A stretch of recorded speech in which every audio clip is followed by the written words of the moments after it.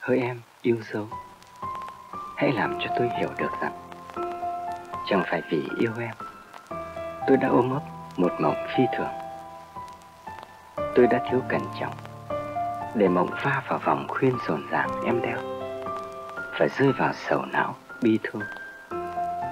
Mộng vỡ tan thành những tiếng hát vu vơ, rơi vãi dưới chân em. Thuyền tình tôi đã nổi chìm trong những đợt sóng cười cợt của em. Rồi ngấm đầy lệ và đắm chìm. Chỉ mình em.